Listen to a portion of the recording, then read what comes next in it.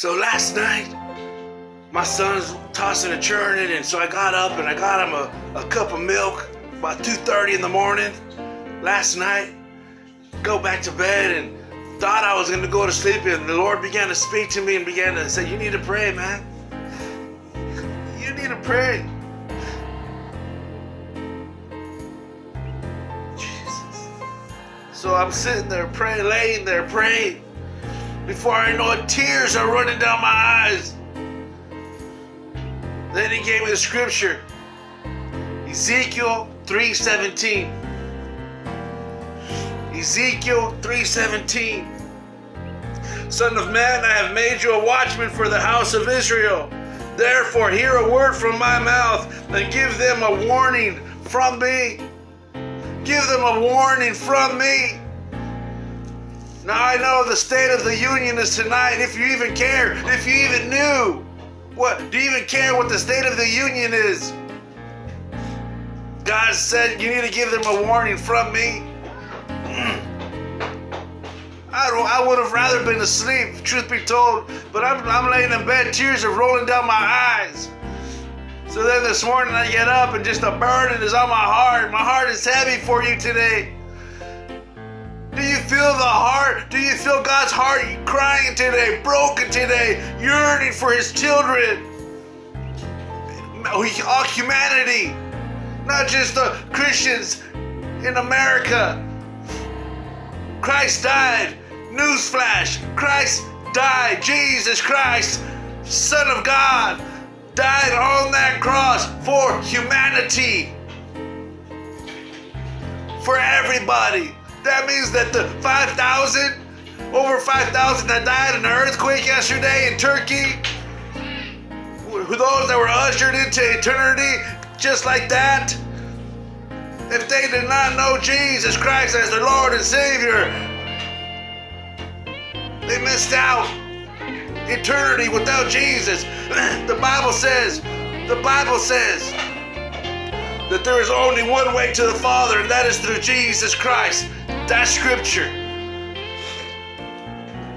Matthew 26 40 said, Jesus telling Peter, said, What? Could you not even pray with me an hour? You're asleep? I'm about to go to the cross. I'm about to go die a gruesome death for you, and you're gonna be asleep still? Come on, people.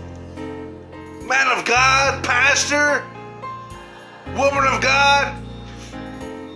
You say Jesus is Lord, but you don't even have time to pray. Yesterday, when you heard the news of the earthquake, did you stop and pray? Did you really stop and pray? And not some superficial, oh Lord, I pray for those people over there. I pray that they're okay. And then you're on your way and you go right back to scrolling on your phone.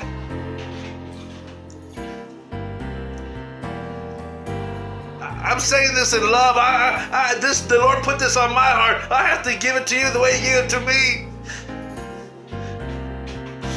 Over 5,000 dead, ushered into eternity. I was watching a news report, and the the, the, the reporter, and he's reporting on the news, live on TV, live, and the aftershock, a 7.0 aftershock, and the cameraman, everybody starts running, and just buildings are collapsing behind them. And then they, they come, they stop shaking, they turn around, and there's these, there's a family and these little kids. So the news reporter goes over and grabs this little kid, man. Does that even move you? Do you even care? Too busy? Too busy?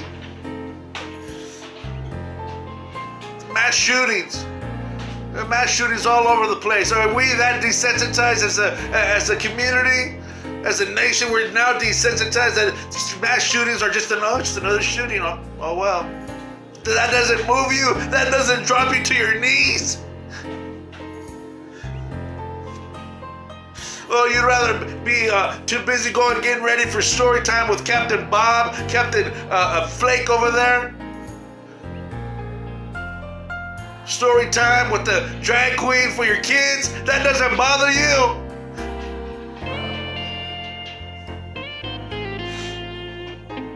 It doesn't move you. This is not a Christian nation. We need to repent. We need to ask uh, uh, ask forgiveness from Sodom and Gomorrah. Does what's happening all around you even pull on your heartstring at all? Nothing? Do you share? When was the last time you shed a tear in the presence of the Almighty? When? If ever. And you call him Lord? You, there's homeless all around you. It's been freezing. The Northeast is in a deep freeze, and there's homeless all around, and that doesn't bother you. Yet your closet's full of jackets. You got a, a storage uh, uh, of blankets.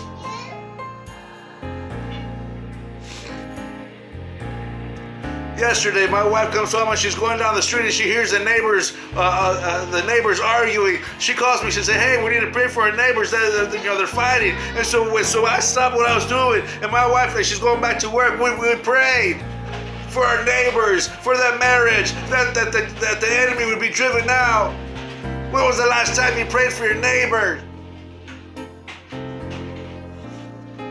You even stop for a second?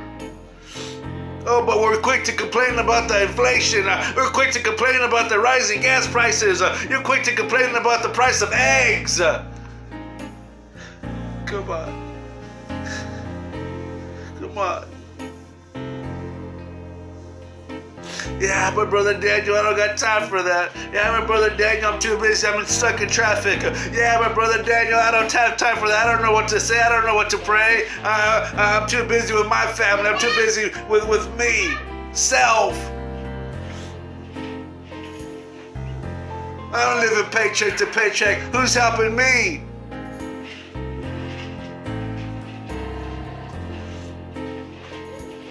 You got no time for the hurting and for the loss and those that are bound by drugs and alcohol, those that are dying, the, the, the, the, the southern border, there's thousands that are dying.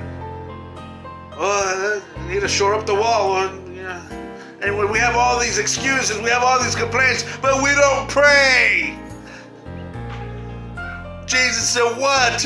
You can't even spend an hour and pray? Oh, but you're too busy getting your prayer, getting your guest list ready for the Super Bowl, for a game that means nothing in eternity. The State of the Union, not good. Let's just call it straight. It's not good. You're too worried, Pastor. You're too worried about your skinny jeans and your and your smoke machines, and you're not preaching the gospel, the pure, unadulterated, not watered down word of the living God. Too worried about your skinny jeans and looking all fashionable. Come on, man of God. We're a month and a half into 2023. Are you still sticking to your guns? Are you still reading your Bible? I'm gonna read the Bible this year. January 1st and through the first, you know, couple days. Yeah, you're reading your Word of God. It's probably collecting dust now. I'm saying this in love. I wrote it down. God, God, put it on my heart.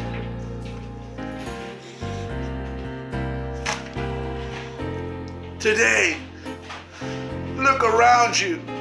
There's someone that you can help. There's somebody that you can help, that you can pray for, that you can bring a word of encouragement to, that you can smile at at least.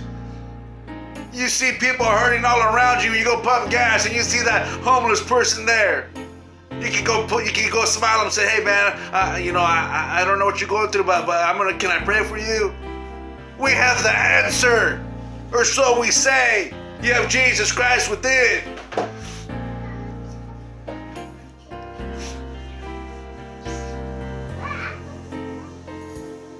Come on.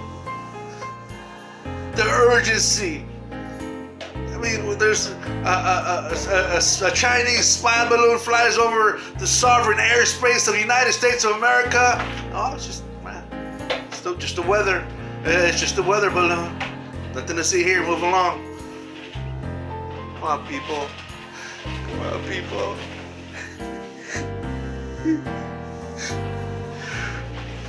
what am I say? I'm telling you, the Lord since 2:30 last night, the Lord's been on me. The Lord's been on me. And I have to share it. I'm hoping at least one person, at least one person, somebody is moved, somebody hears the heart of the Lord. The Bible said, give them a warning from me. That about me. I have to walk in obedience. I have to sound the alarm. I have to shout, sound the trumpet. I have to.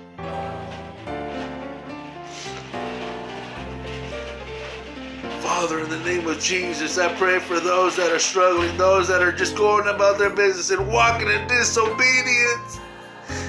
I pray, Lord, that we would begin to be obedient to your word, quick to obey. Quick to obey your word, uh, quick to obey the unctions, uh, the leading of your spirit.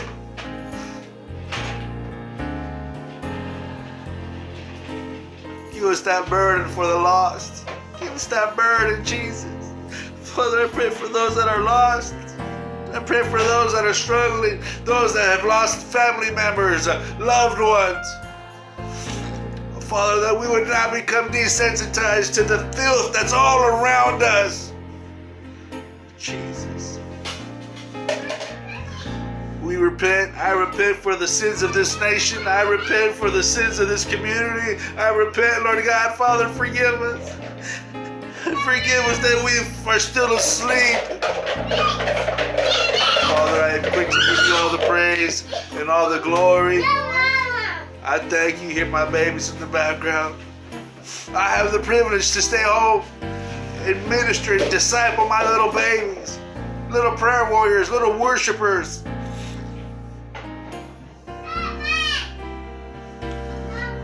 Be encouraged today. Be encouraged. God's on the throne. God's still on the throne. Use this time, use this the last uh, 12 minutes to pursue, to fan into flame.